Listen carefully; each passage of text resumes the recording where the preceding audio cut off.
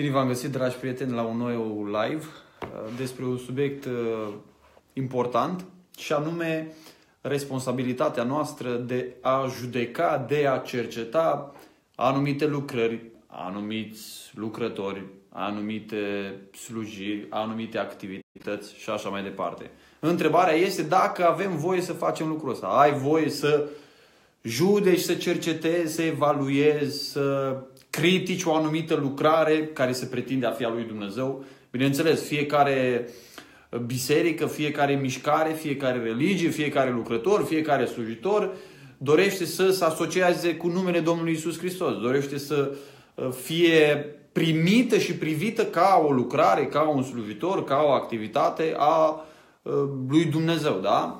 Toți ne dorim lucrul ăsta, să fim considerați în felul acesta. Slujitorii al lui Dumnezeu, oameni care facem lucrarea lui Dumnezeu, că facem parte din biserica lui Dumnezeu și așa mai departe. Și în această junglă de denominații, de religii, de secte, de culte, de idei, de dogme, de doctrine, în această junglă, în acest stufăriș dens, ne găsim fiecare dintre noi întrebându-ne Domnule, care o fi lucrarea lui Dumnezeu? Nu se poate ca doi oameni care fac două lucruri contrare în numele Domnului Isus Hristos ca amândoi să aibă dreptate.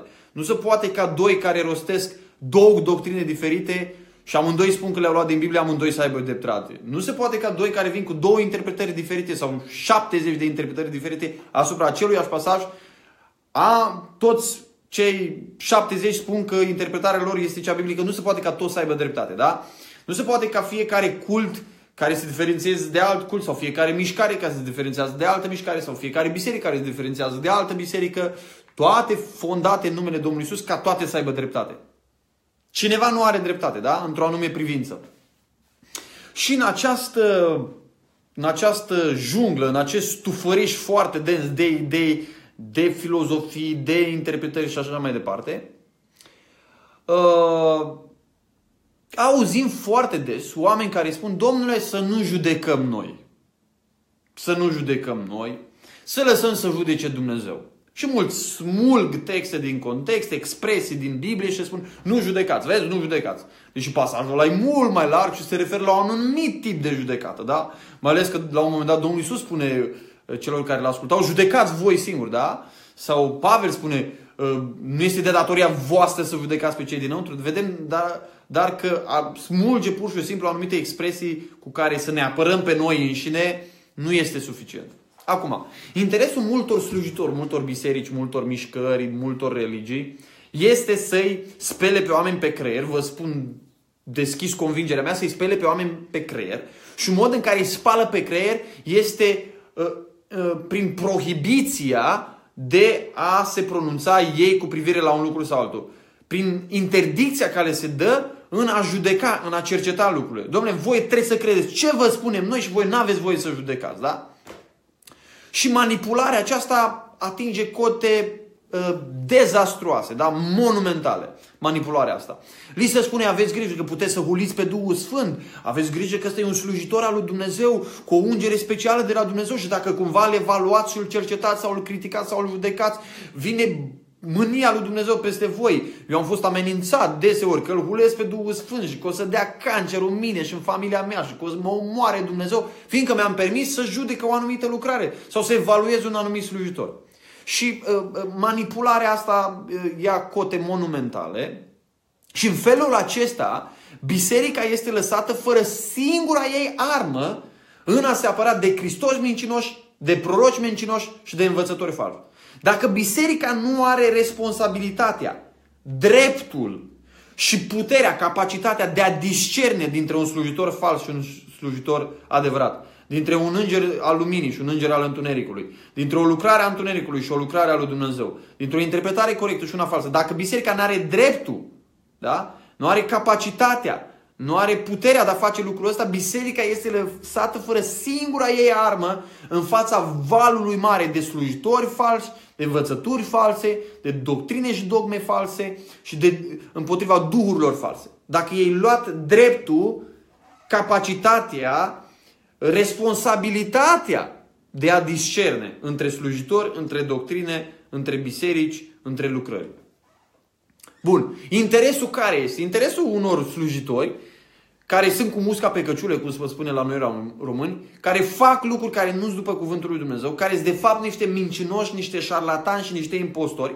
Interesul lor normal că este acela de a te face pe tine să stai să înghiți și să mănânci tot ceea ce o regurgitat el da, să consumi tot ceea ce îți dă el, să nu-ți folosești capacitățile mentale și ca el să te poată manipula cum vrea el, să te ducă unde vrea el. Normal că interesul lui este ca tu să nu critici, să nu judeci, să nu evaluezi, să nu cercetezi. De ce? Pentru că dacă te apuci la evalua, la cercetat și la criticat și la judecat, îl vei deconspira în, în scurt timp ca fiind un șarlatan, un impostor, un învățător mincinos, un hoț și așa mai departe. Normal că interesul lui este să te facă pe tine să-ți fie teamă să le evaluezi pe el. Așa că, un principiu din tot ce am spus până acum, pe care trebuie să îl învățăm cu toții, este că diavolul, primul lucru pe care îl va face înainte ca să ne bage învățături mincinoase, este să ne înficoșeze și să ne ia dreptul, responsabilitatea și capacitatea de a ne folosi discernământul spiritual. Asta va face diavolul primul lucru. Așa că,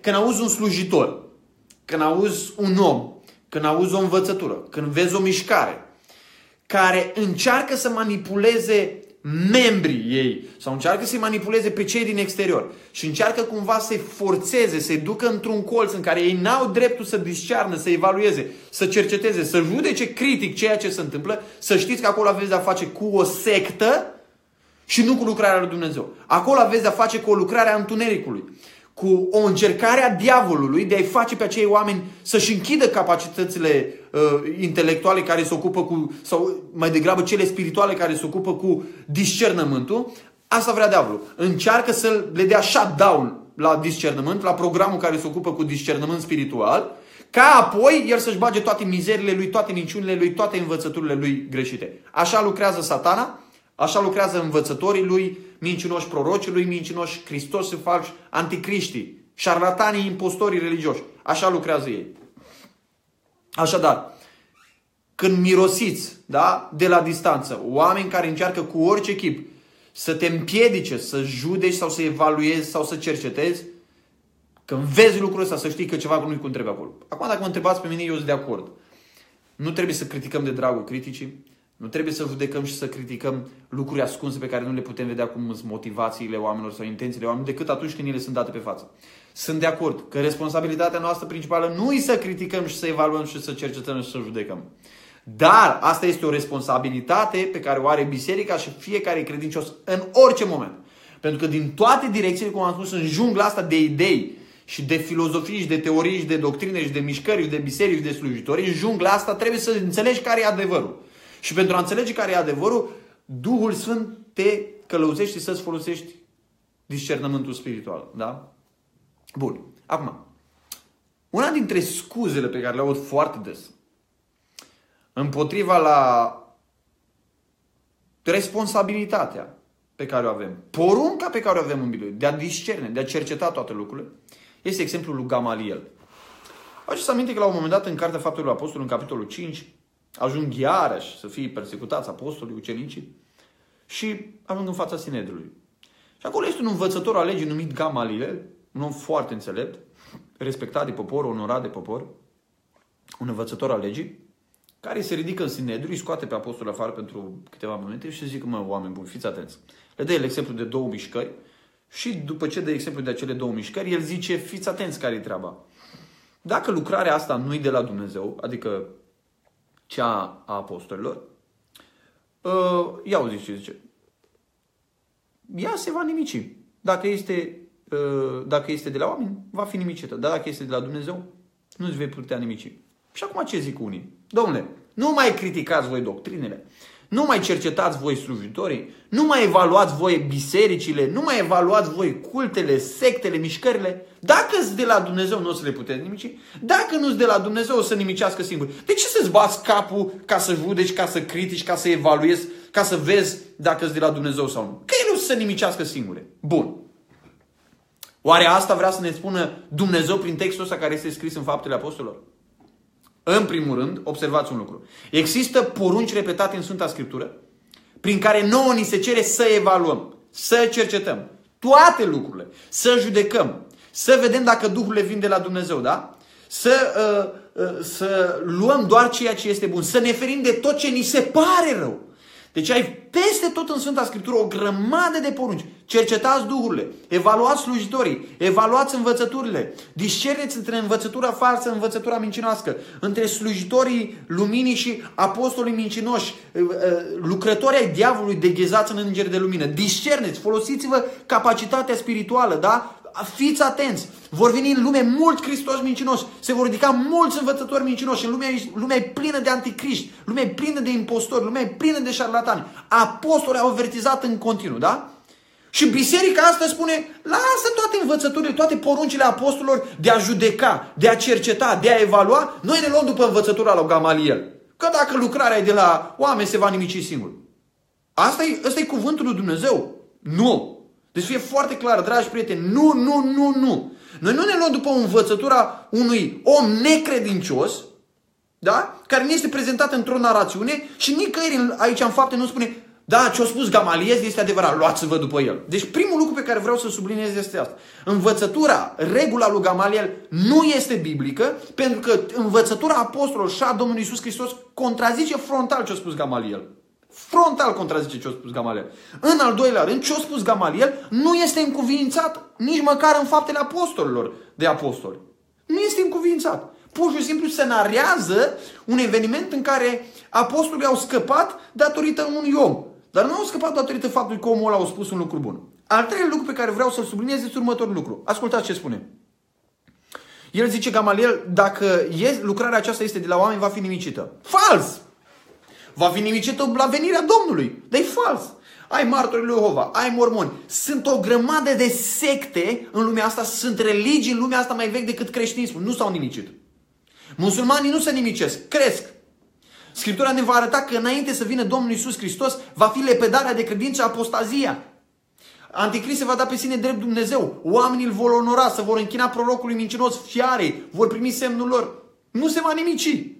Nu vă luați după, după prostia asta, după, după ideea asta, după logica asta omenească a lui Gamaliel. Sunt atâtea secte, lucrări mincinoase ale diavolului în lumea asta, religii false vechi, de mii de ani de zile, mai vechi decât creștinismul, care nu s-au nimicit. Înseamnă că sunt de la Dumnezeu? Păi după teoria lui Gamaliel la șarfi, că sunt de la Dumnezeu. Păi nu sunt de la Dumnezeu. Noi știm că un lucru, și acesta este al treilea lucru pe care îl subliniez, noi știm că un lucru este de la Dumnezeu nu dacă se nimicește înaintea ochilor noștri. Știm că este de la Dumnezeu evaluându-l după cuvântul lui Dumnezeu, cercetându-l după cuvântul lui Dumnezeu, judecând după cuvântul lui Dumnezeu. Cum știu eu că un lucru e de la Dumnezeu? De aici, din cuvânt. Nu văd regula lui Gamaliel. Stau să aștept să văd, bă, o să nimicească martorile Jehova lucrarea lor sau nu? O să nimicească budismul sau nu? O să nimicească idolatria sau nu? Cât e lumea asta va fi idolatrie? Cât e lumea asta vor fi învățături false? Cât e lumea asta satana va înșela pe oameni vor fi religii false? Nu te poți lua după regula lui Gamaliel, că se va nimici singură de la, Dumne- de la sine o lucrare dacă nu e de la Dumnezeu. Nici vorbă de așa ceva. Dar la finalul timpurilor Dumnezeu va face pace în tot universul și tot ce e fals, tot ce e mincinos, ă, tot ce e impostură religioasă va fi nimicit de Dumnezeu. Dar cât timp trăim pe pământul acesta, nu putem aplica regula lui Gamaliel, că se va nimici. Nu se va nimici. Vedem atâtea lucrări a diavolului care încă uh, nu sunt nimicite.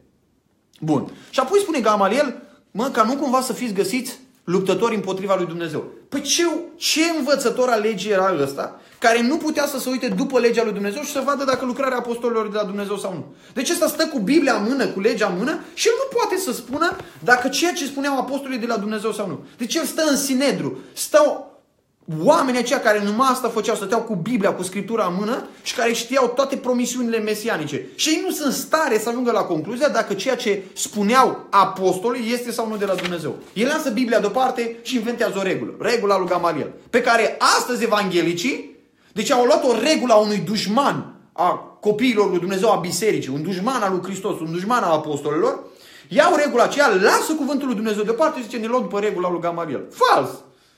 Fals. Deci omul acesta nu îi tolerează pe oamenii ăștia din cu totul alt motiv, nu din rațiuni biblice. El lasă Biblia deoparte și și instaurează el legile sale. Și spune, ei au ascultat de sfatul lui și chemând pe apostoli, i-au bătut și le-au poruncit să nu vorbească în numele lui Isus și le-au dat drumul. Deci Gamaliel ăsta e un foarte pervers. Dacă stai parșiv spiritual, dacă stai să te gândești bine.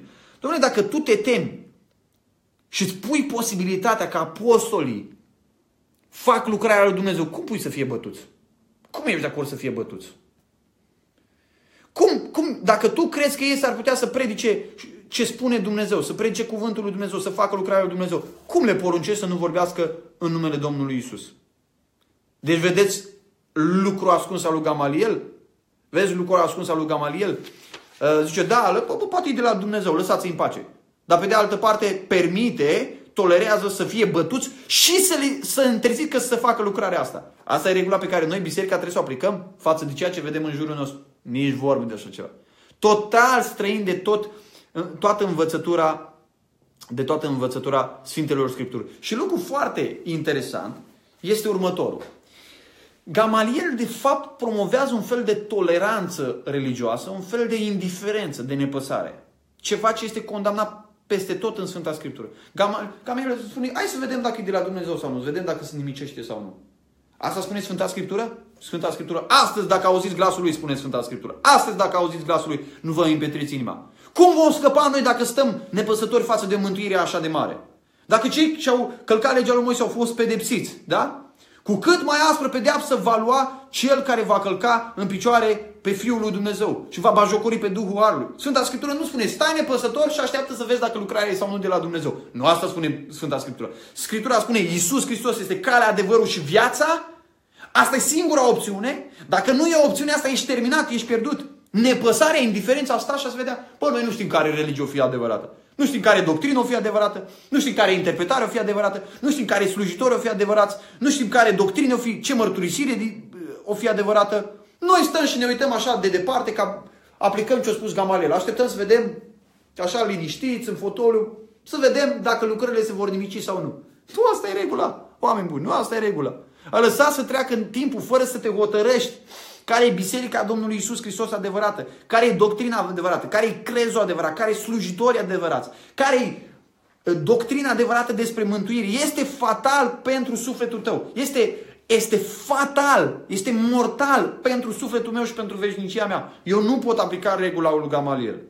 Și lucru foarte deranjat este ca să slujitori care vor să-și ascundă mizeriile lor, erorile lor, incompetența lor, ignoranța lor, Uh, să, să acopere pe ei și uh, pe alți șarlatani, să acopere uh, tot felul de lucruri murdare din mișcările din care fac parte și chiar din vețile lor personale, spun regula lui Gamaliel.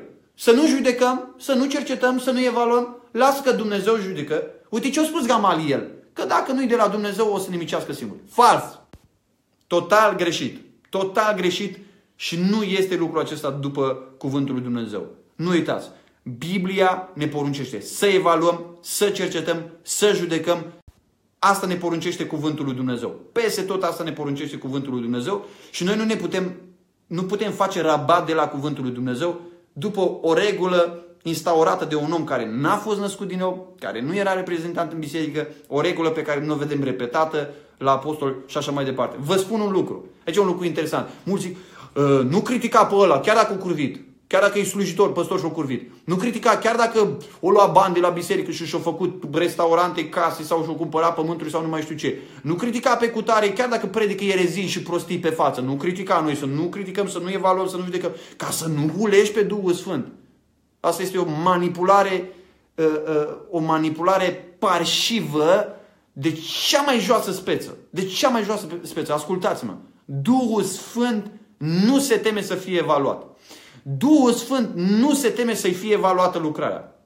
Duhul Sfânt a inspirat pe apostol să spună, cercetați toate lucrurile. Cercetați Duhurile să vedeți dacă vin de la Dumnezeu.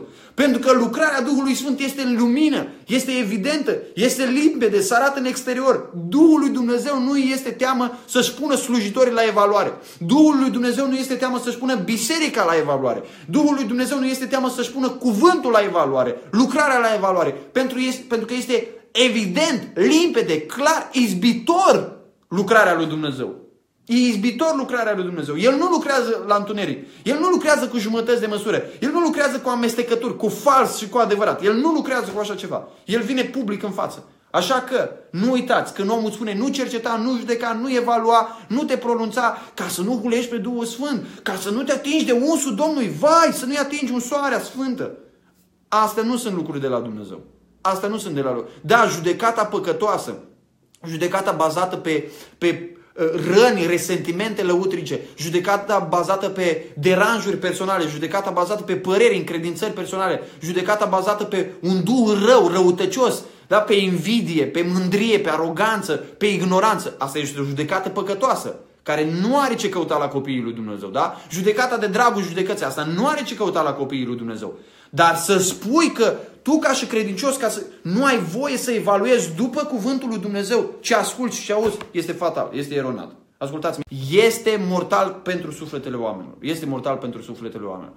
Uh, dacă ați considerat clipul acesta folositor, util și relevant din punctul meu de vedere, este relevant pentru situația în care noi trăim, uh, dați un like, dați un share ca să împărtășim adevărul și cu alții. Ne vedem la următorul live.